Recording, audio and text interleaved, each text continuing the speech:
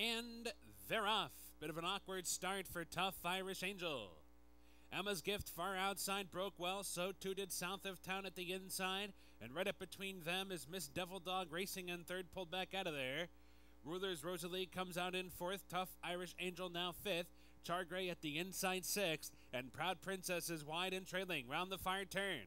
Emma's gift short lead south of town, keeping pace 22 and 4. First quarter, here's Miss Devil Dog now. Revving up on the outside, Miss Devil Dog, big bid, three wide on the outside.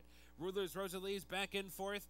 Chargray has taken over fifth from Tough Irish Angel, and Proud Princess was always last. Top of the stretch, Emma's Gift's got a short lead. Miss Devil Dog trying to sustain that bit on the outside, and these two come together at the eighth pole. Emma's Gift digs down inside. Miss Devil Dog fights on outside. These two right together the entire length of the stretch. Emma's Gift, Miss Devil Dog.